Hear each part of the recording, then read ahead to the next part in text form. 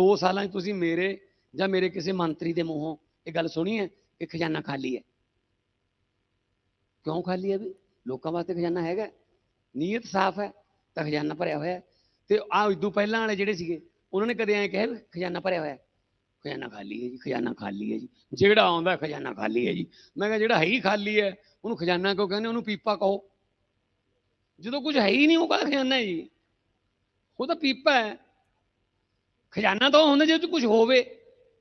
ਸੋ ਨੌਜਵਾਨ ਮੁੰਡੇ ਕੁੜੀਆਂ, ਜਦੋਂ ਇਹ ਦੇਖਦੇ ਨੇ ਕਿ ਸਾਡਾ ਵਿੱਤ ਮੰਤਰੀ ਉਹ ਕਹੀ ਜਾਂਦਾ ਖਜ਼ਾਨਾ ਖਾਲੀ ਹੈ, ਇੱਥੇ ਕੀ ਬਣੂ ਆਪਣਾ? ਚਲੋ ਬਾਹਰਲੇ ਮੁਲਕਾਂ ਨੂੰ। ਵੇਚ ਦੋ ਮਾਂ ਦੀਆਂ ਬਾਲੀਆਂ, ਵੇਚ ਦੋ ਪਿਓ ਦੀ ਜ਼ਮੀਨ, ਬਾਹਰਲੇ ਮੁਲਕਾਂ ਨੂੰ ਭੱਜ ਕੇ।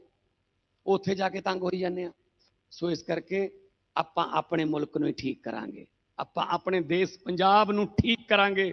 ਆ ਗੁਰੂਆਂ ਦੀ ਆ ਸ਼ਹੀਦਾਂ ਦੀ, ਪੀਰਾਂ, ਫਕੀਰਾਂ ਦੀ ਧਰਤੀ ਹੈ, ਐਸੇ ਨੂੰ ਠੀਕ ਕਰਾਂਗੇ। ਦੁਨੀਆ ਤੇ ਮੇਰੀ ਗੱਲ ਮੰਨ ਲਓ, ਮੈਂ ਪੂਰੀ ਦੁਨੀਆ ਘੁੰਮੀ ਹੋਈ ਹੈ, ਇਹਦੇ ਵਰਗੀ ਧਰਤੀ ਦੁਨੀਆ ਤੇ ਕਿਤੇ ਹੈ ਨਹੀਂ ਭਾਈ ਪੰਜਾਬ ਵਰਗੀ। 150 ਮਣ ਦਾਣੇ ਪੈਦਾ ਕਰਦੀ ਹੈ 90 ਮਣ ਝੋਨਾ 60 ਮਣ ਕਣਕ ਇੱਕ ਸਾਲ ਚ। ਦੁਨੀਆ 'ਚ ਨਹੀਂ ਹੈ ਕੋਈ ਧਰਤੀ, ਔਰ ਚਰਨ ਛੋਹ ਪ੍ਰਾਪਤ ਧਰਤੀ ਹੈ, ਲੋਕ ਮਿਹਨਤੀ ਨੇ। ਕਮੀ ਕਾਦੀ ਸੀ? ਬਸ ਚੰਗੀ ਨੀਅਤ ਵਾਲੇ ਲੀਡਰ ਨਹੀਂ ਮਿਲੇ ਸੀ। ਆਪਾਂ ਤਾਂ ਉਹਨਾਂ ਦੇ ਹੱਕ 'ਚ ਬਹੁਤ ਵਾਰੀ ਭੁਗਤੇ, ਪਰ ਉਹ ਆਪਣੇ ਹੱਕ 'ਚ ਇੱਕ ਵਾਰੀ ਵੀ ਨਹੀਂ ਭੁਗਤੇ। ਹੁਣ ਕੱਢ ਰਿਹਾ ਉਹਨਾਂ ਦੇ। ਔਰ ਜਿਹੜੇ ਪਹਾੜ ਖਰੀਦ ਰੱਖੇ ਨੇ ਉਹ ਸਾਰੀਆਂ ਕਬਜ਼ੇ ਕਰ ਰੱਖੇ ਨੇ, ਜ਼ਮੀਨਾਂ ਤੇ ਹੋਟਲ ਦੱਬ ਲਏ, ਉਹਦੇ ਬੱਸਾਂ ਦੱਬ ਲੀਆਂ ਪਤਾ ਨਹੀਂ ਤਾਂ ਨਾਲ ਲੈ ਕੇ ਜਾਣੇ। ਪਤਾ ਨਹੀਂ ਤਾਂ ਧਰਮਰਾਜ ਨਾਲ ਗੱਲ ਹੋ ਗਈ ਵੀ ਤੁਹਾਡੇ ਵਾਲੇ ਆ ਸਕਦੇ ਨੇ ਨਾਲ।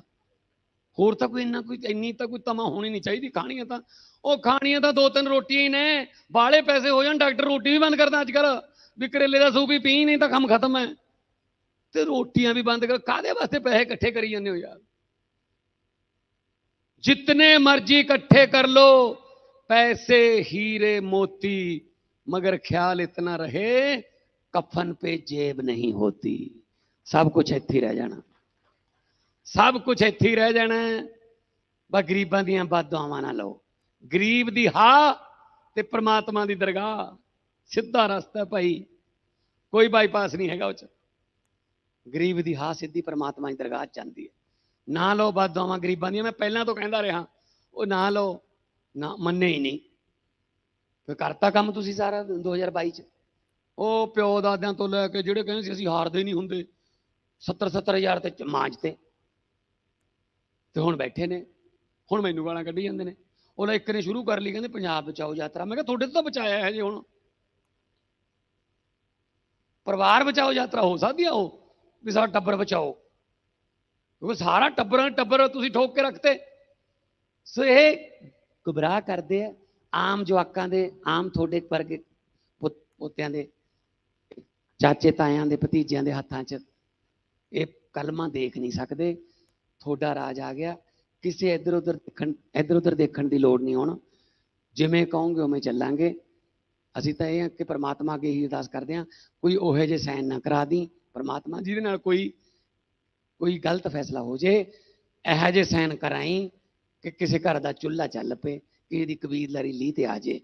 ਮੇਰੇ ਕਰਕੇ ਜੇ ਦੋ ਚਾਰ ਵੀ ਜ਼ਿੰਦਗੀਆਂ ਬਦਲ ਗਈਆਂ ਤੇ ਇਹ ਤੋਂ ਵੱਡਾ ਪੁੰਨ ਕੋਈ ਨਹੀਂ ਜੀ ਅੱਜ ਦੇ ਜ਼ਮਾਨੇ 'ਚ।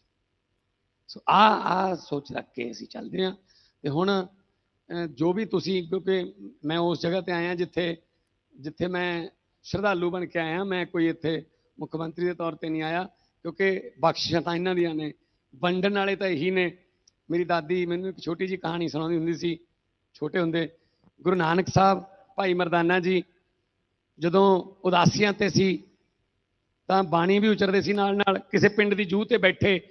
ਸਵੇਰੇ ਸਵੇਰੇ ਗੁਰੂ ਸਾਹਿਬ ਨੇ ਮਰਦਾਨਾ ਜੀ ਨੂੰ ਕਿਹਾ, ਮਰਦਾਨਿਆਂ, ਰਬਾਬ ਛੇੜ, ਬਾਣੀ ਉਚਰੀਏ।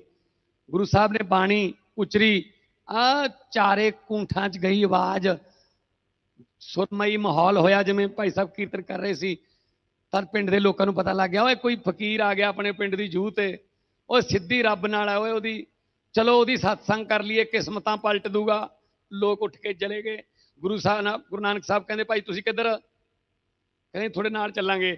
ਗੁਰੂ ਸਾਹਿਬ ਕਹਿੰਦੇ, ਭਾਈ ਸਾਡੇ ਰਾਹ ਔਖੇ ਨੇ, ਅਸੀਂ ਸੱਚ ਦੇ ਰਾਹਾਂ ਦੇ ਪੰਧੀ ਆ, ਤੁਹਾਡੇ ਤੋਂ ਚੱਲਿਆ ਨਹੀਂ ਜਾਣਾ। ਕਹਿੰਦੇ, ਨਾ ਹੀ ਚੱਲਾਂਗੇ। ਕਹਿੰਦੇ, ਚਲੋ ਆਜੋ ਤੁਰੇ ਗਏ ਤੁਰੇ ਗਏ ਅੱਗੇ ਚਾਂਦੀ ਦੇ ਢੇਰ ਆ ਗਏ, ਆਲੇ ਦੁਆਲੇ ਚਾਂਦੀ ਦੇ ਢੇਰ ਲੱਗੇ ਹੋਏ। ਜਿਨ੍ਹਾਂ ਨੂੰ ਚਾਂਦੀ ਚਾਹੀਦੀ ਸੀ, ਉਹਨੇ ਚਾਂਦੀ ਚੱਕੀ, ਕਹਿੰਦੇ ਮਾਰੋ ਗੋਲੀ, ਸੱਚ ਨੂੰ ਕੰਮ ਬਣ ਗਿਆ, ਪਹਿਲਾਂ ਹੀ ਆਪਣਾ ਤਾਂ। ਉਹ ਤਾਂ ਮੁੜ ਗਏ ਜੀ।